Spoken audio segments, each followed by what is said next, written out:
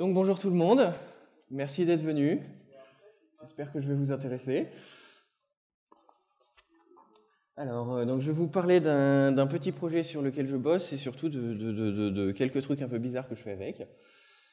Euh, pour situer TUI, c'est un jeu de mauvais œufs. Vous verrez à la fin que j'aime beaucoup les jeux de mauvais œufs pour les noms d'appli. C'est simplement, c'est moi mon pseudo c'est Elzen. Et donc c'est un environnement graphique, et donc c'est Elzen's Environment, donc deux E, donc TUI en anglais. Voilà. Le reste c'est du même acabit. Alors, euh, premier avertissement, je ne vais pas vous faire de démo. J'espérais pouvoir vous en faire une. Sauf que euh, bah, il se trouve que j'ai deux occupations dans la vie, soit je code, soit j'écris, et que depuis que j'ai proposé cette conf, j'ai passé mon temps à écrire, donc j'ai pas codé, donc c'est pas fini. Donc je vais pas pouvoir vous faire de démo, il y aura quand même screenshot à la fin. Euh, bon après, c'est pas forcément grave parce que euh, voilà deux, deux exemples d'environnement graphique. Juste pour prévenir, moi personnellement, d'après mes goûts, celui que je trouve le plus agréable comme environnement graphique, c'est celui d'en haut.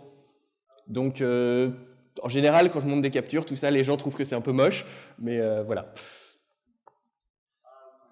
Sinon, un autre petit avertissement, si vous êtes venu à cette conf pour apprendre à bien coder, repartez en vitesse. J'ai tendance à pas respecter les, règles de l'art, on, on y, reviendra, mais voilà, je fais, je fais en fonction de ce qui m'a l'air intéressant de faire. Et donc voilà, je développe un environnement graphique à moi tout seul et pour juste pour moi tout seul d'ailleurs. Mais voilà.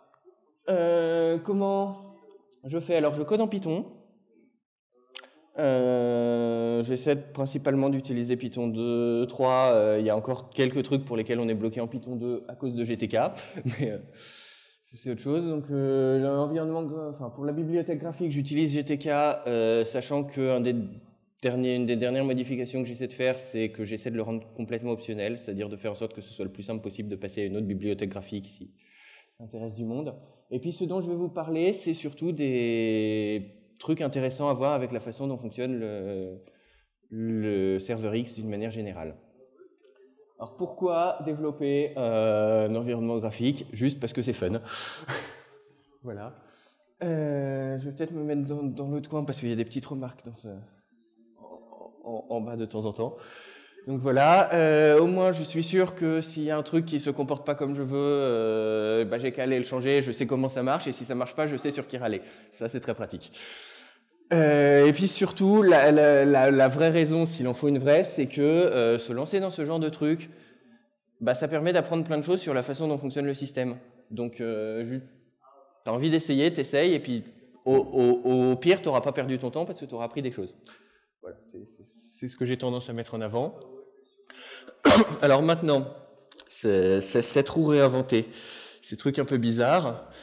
Euh, dans les comportements d'appli, il y a un truc qui me truc qui me paraît euh, toujours un peu, enfin, c'est gênant ou pas selon ce que tu en fais, mais euh, un truc qui, est, qui me paraît un peu bizarre. Quand tu lances une appli dans un premier terminal, par exemple Firefox ou n'importe quel autre, mais les applis bien faites en général. Tu vas la lancer, tu récupères pas la main parce que l'appli reste ouverte. Alors évidemment, les gens savent que tu mets une éperluette à la fin et ça te rend la main dans le terminal, c'est pas de ça dont il est question ici. si tu lances une deuxième appli, tu relances la même chose. Là, tu n'as pas le même comportement parce que l'appli va remarquer qu'il y en a une autre instance qui tourne. Donc elle va envoyer prévenir l'autre instance de prendre le relais et puis elle va se fermer direct. Et ça, ça fait que bah, si tu veux faire des scripts euh, où tu attends la fin d'un truc euh, pour, euh, pour faire autre chose derrière, c'est pas forcément pratique parce que c'est pas prédictible. Si c'est prédictible, mais il faut regarder avant s'il y a une, une autre instance qui tourne pour savoir ce que tu veux faire, tout ça. Donc je trouve ce comportement un peu bizarre. Et puis surtout, ce qui m'embête beaucoup dans ce comportement, alors pour Firefox, je suis pas allé voir dans le détail, mais pour les applis en GTK, pour faire ce fonctionnement-là, elles utilisent un truc qui s'appelle Debus, je ne sais pas si vous avez déjà regardé ce truc, mais déjà à utiliser quand une autre appli euh, a mis en place ce qu'il faut pour s'en servir, c'est chiant. Alors euh, essayez d'aller euh, mettre en place ce qu'il faut. J'ai même pas envie de, j'ai pas envie d'aller y toucher moi. Donc je me suis demandé s'il n'y avait pas un moyen de faire les choses d'une manière un peu plus, un peu plus simple que d'utiliser des, des, des, outils avancés comme ça. Et en fait, il y, a, il, y a, y a un moyen de faire la même chose, tout bête, en quelques quelques dizaines de lignes de code. C'est juste en adaptant la stratégie. Au lancement de, de, mes applications, j'ai un petit bout de code qui va regarder la liste des processus en cours, qui va chercher s'il y a un autre processus qui a, le même nom, donc c'est une autre instance du truc qui tourne.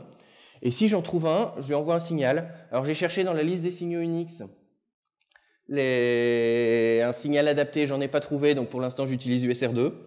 C'est un des deux signaux qui, sont faits pour être utilisés comme l'utilisateur le veut, faute de mieux, mais voilà, si quelqu'un euh, voit un signal qui serait plus adapté, ce serait bien.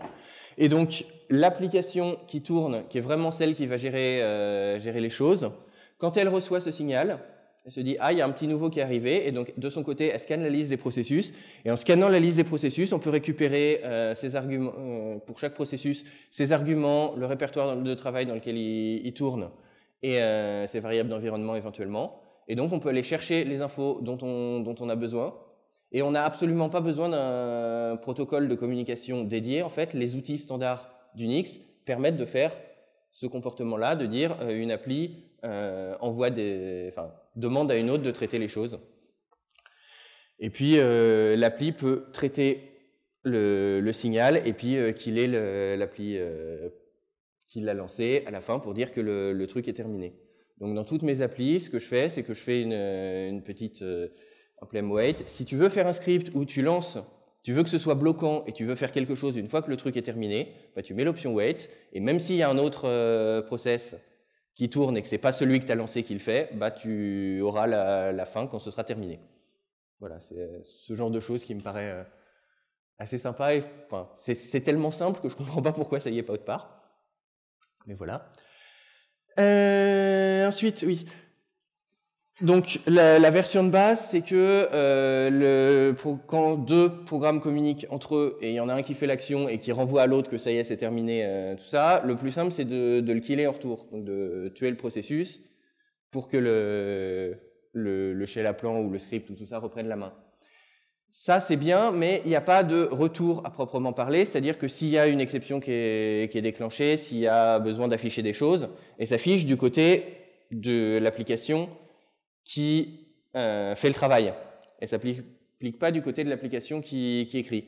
Donc c'est probablement pour ça que les autres utilisent euh, des bus ou des trucs comme ça pour renvoyer des choses dans l'autre sens, pour que pour qu'il y ait un retour. Et effectivement, si on procède comme ça, c'est pas possible. Mais il y a quand même une, une petite stratégie intéressante à aller regarder. Euh, je ne sais pas si vous avez l'habitude d'utiliser beaucoup les presse-papiers. Mais euh, un truc à savoir, c'est que sous les systèmes qu'utilise Xons, on a deux presse-papier, on n'en a pas un. C'est-à-dire que si vous allez cliquer sur le bouton, euh, là, vous allez copier ça dans un... Alors ça, s'appelle une sélection au niveau de X qui s'appelle clipboard, donc qui est le presse-papier habituel que vous utilisez avec euh, CTRL-C, CTRL-V, etc. Mais si vous vous contentez de sélectionner le texte, vous faites rien, le texte est déjà transféré dans un autre presse-papier qui s'appelle le primary, et vous pouvez le passer au, clic milieu. Je ne sais pas si vous avez l'habitude de faire ça, mais ça peut être assez pratique dans certains cas.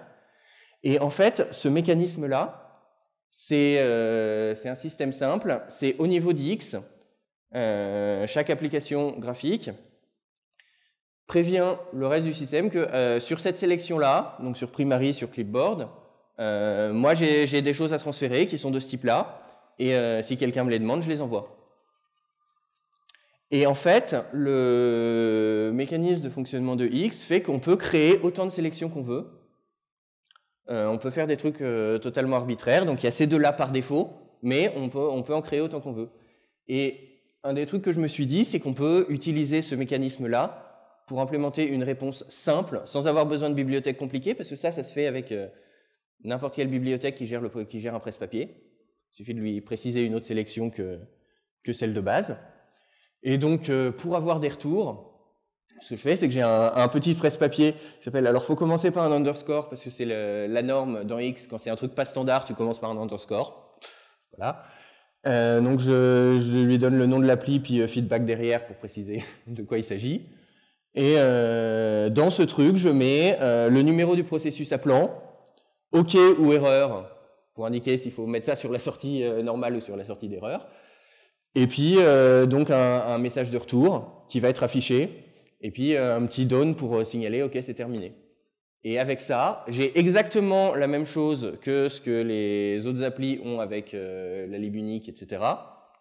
Mais juste de manière standard avec les, outils de base qu'on a à partir du moment où on a un serveur X. Donc voilà, c'est ce genre de choses euh, dont, je voulais vous parler. Je vais aller encore un peu plus loin avec ce mécanisme-là. Mais ce truc de sélection, c'est juste hyper pratique et je ne comprends pas pourquoi c'est n'est pas plus utilisé que ça ne l'est. Parce qu'en fait, ce qu'on échange là, c'est juste du texte. Et euh, bah, une appli, on manipule du texte dans tous les sens. Typiquement, euh, pour un environnement graphique, tu as besoin d'avoir un menu avec des applications à lancer dedans. Donc là, j'ai un fichier, de conf qui contient mon menu généré à la main. Et bah, mon, panel, le, panel de l'environnement, il lit ce fichier-là, et puis à chaque fois que, le fichier est modifié, il va remettre à jour le menu, etc. Bah, si tu peux faire ça avec un fichier tu peux faire ça exactement de la même manière avec une sélection X. Et donc, tu peux tout à fait euh, inventer des systèmes euh, dans lesquels l'application te publie euh, sur un, sur un presse-papier spécifique le, un menu qu'elle aimerait bien voir s'afficher dans, le panel. Et puis, chaque, fois chaque fois que l'application prend la main, elle republie ce, truc pour dire c'est moi qui, qui ai la main maintenant. Le panel, à chaque fois qu'il voit un changement, il adapte le menu. Et tu n'as pas besoin de faire des trucs compliqués, genre Head Up Display euh, d'Ubuntu. Ça peut se faire de manière totalement, totalement euh, naturelle avec des outils de base si l'appli est bien, est bien conçue pour ça. Voilà. Euh, je suis encore allé un cran plus loin avec ce, genre de mécanisme. j'ai commencé donc dans la, dernière version de mon code à utiliser ce que j'ai appelé des entités, faute d'un meilleur nom. C'est juste une série de petites, euh, petites infos comme ça sur des trucs. Alors, ce que j'appelle une entité, c'est un identifiant qui a un nom, une description, éventuellement une, classe, et puis une icône. Donc simple. Et ça, ça va faire un bouton euh, dans le panel, par exemple, un bouton dans une barre de menu d'appli, etc. Euh, je peux rajouter des, états pour savoir si je les prends ou pas. Et derrière, la barre d'outils d'une fenêtre, par exemple, c'est juste une série de, sélecteurs de ce type-là, hein, euh, sélecteurs classiques pseudo-CSS. Et euh, avec ça, bah, ça, permet d'afficher tous les boutons que tu veux dans l'appli, et donc ça permet de faire une communication entre les applications qui est beaucoup plus avancée.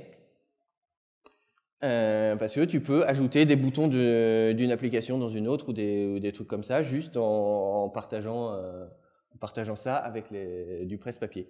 Donc c'est un mécanisme qui est hyper puissant, assez simple à utiliser et qui permet de faire, enfin voilà, euh, permet de faire des choses comme ça. Et je comprends pas pourquoi c'est pas plus utilisé que ça, mais c'est peut-être moi, juste moi, qui ai une disposition d'esprit bizarre. Euh, et puis, euh, juste, si tu mets juste l'icône, faut quand même que, enfin, faut quand même que quand tu cliques dessus, ça fasse des choses. sinon, c'est pas un bouton très intéressant.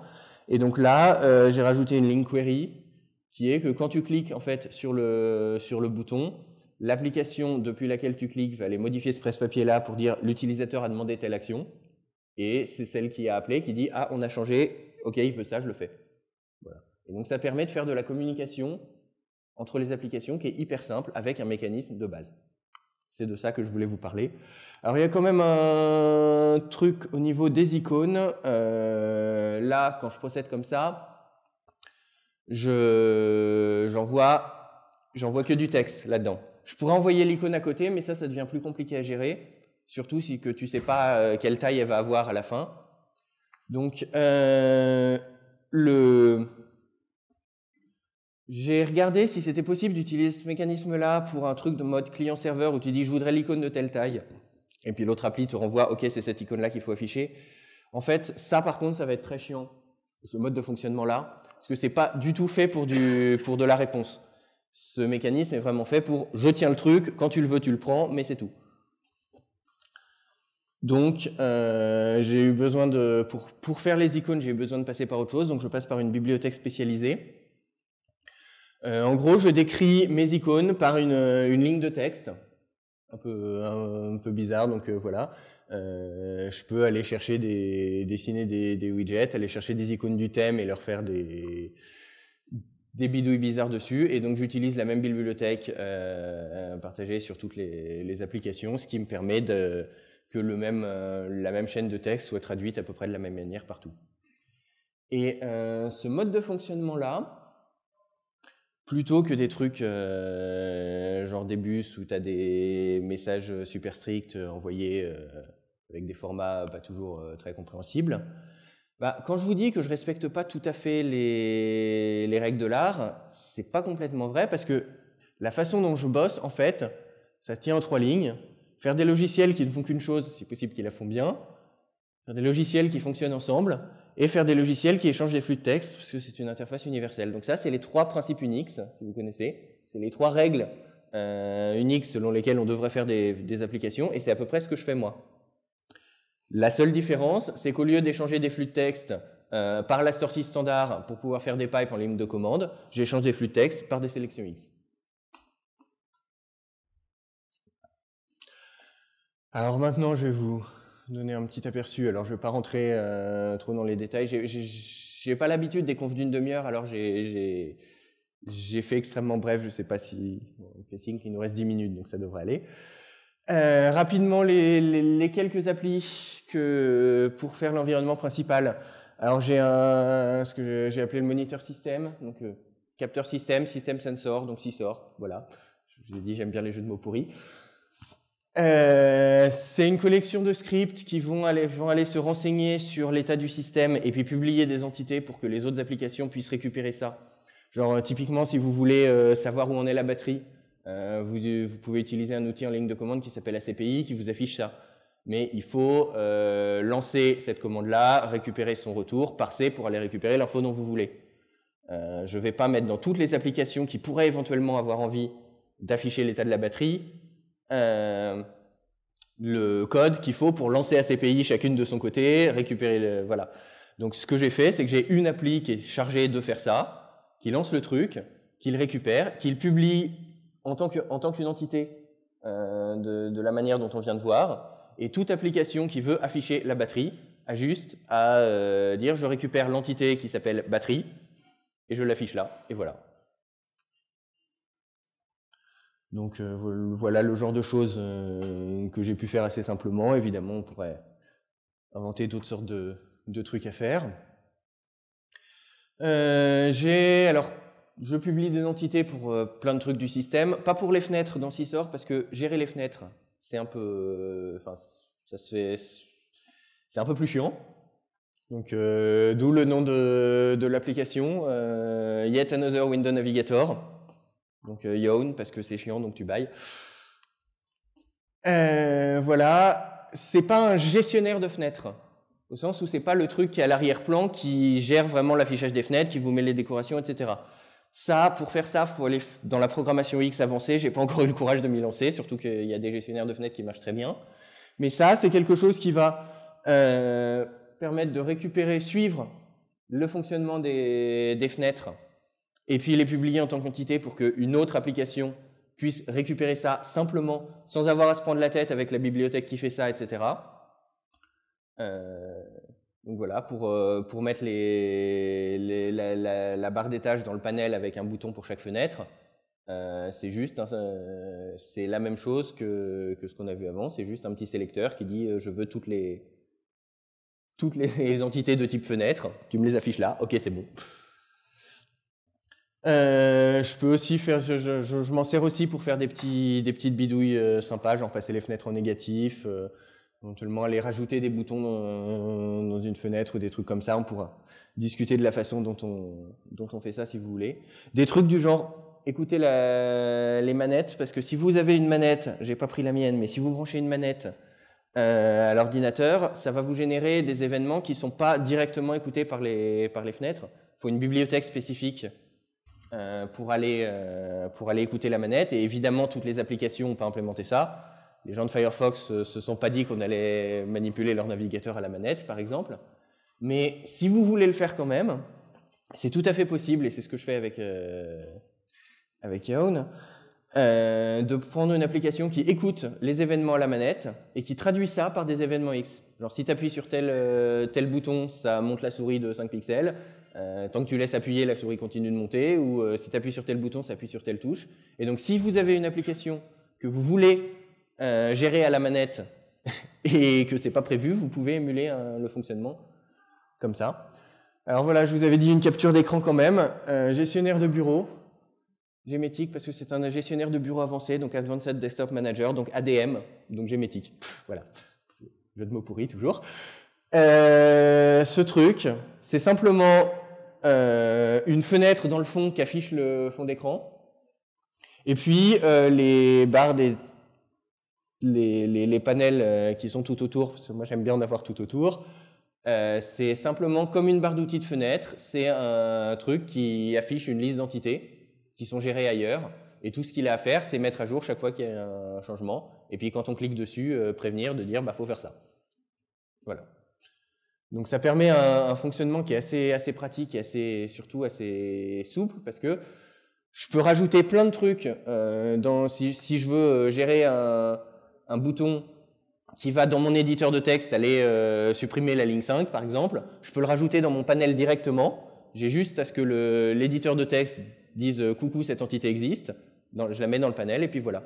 Donc ça facilite beaucoup la, la notion de plugin parce que j'ai plus besoin d'aller modifier celui-là pour rajouter des choses qui viennent d'autres applications. Voilà. Je travaille aussi sur un lanceur d'applications que j'ai appelé Catapult parce que quitte à avoir un lanceur autant que voilà. Pas rentrer dans le détail, on va, terminer. Un, éditeur de, enfin un mainteneur de session parce que quand vous lancez une session euh, faite à la main plutôt qu'un environnement euh, complet genre GNOME ou, ou tout ça, vous, vous, lancez un truc avec votre fichier euh, dans votre home, il faut une, un truc qui va tourner en tâche de fond parce que quand ce truc-là s'arrête, la session se ferme. Donc j'ai un, petit truc qui ne fait à peu près rien, qui est juste là pour maintenir la session. Je vais quand même rajouter une petite fonction, c'est qu'il fournit le, système tray, donc la petite zone de notification où tu as des icônes, parce que ça c'est un truc assez, euh, unique, et donc il faut une appli qui, qui tient ça mais euh, ça me permet d'évoquer juste rapidement le fait qu'on peut aussi se servir d'X pour mettre des widgets à l'intérieur, depuis une application, à l'intérieur d'une fenêtre gérée par une autre application. Donc euh, c'est quand on va creuser, en fait, il y a plein de trucs absolument euh, géniaux dont on se se sert pas souvent.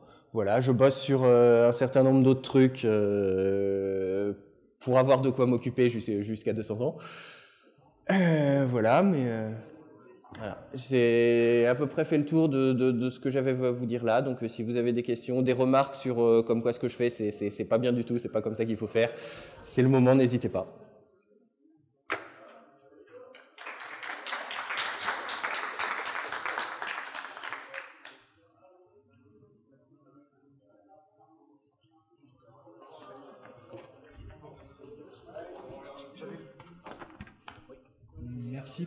Ces infos. Euh, J'avais vu sur euh, un article qu'il y avait peut-être une volonté de passer sur Qt. Euh, C'était en 2014, sur le blog de 2014. Ouais, Où est-ce que ça en est? C'est très vieux, effectivement. C'était l'époque du passage de GTK2 à GTK3. Euh, parce que GTK3 apporte plein de progrès sur plein de points, mais il apporte aussi des grosses régressions. Et pendant longtemps, j'ai beaucoup hésité. J'ai regardé du côté de Qt. Euh, j'ai beaucoup de mal moi personnellement avec la façon dont fonctionne Qt, donc j'ai préféré rester sur GTK quand même. Mais c'est pour ça que j'ai fait euh, l'effort de rendre le truc le plus indépendant possible de GTK, c'est-à-dire que euh, toute la partie cœur, façon dont ça fonctionne, est totalement indépendante de ce que tu utilises pour le graphique. j'ai quelques trucs qui peuvent fonctionner directement avec la Xlib et puis d'autres pour lesquels il me faut euh, il faut encore du GTK parce que j'ai pas fait autre, autrement parce que la c'est chiant et voilà. Mais euh, le but du jeu, c'est que euh, si tu veux porter ça sur un autre, euh, un autre truc graphique, ce soit le plus simple possible. Tu juste à gérer la partie graphique. Ce qui est malheureusement pas le cas quand tu développes, euh, enfin les, applications GNOME ou autres sont vraiment tellement ancrées dans GTK que si tu voulais changer, ce serait euh, atroce.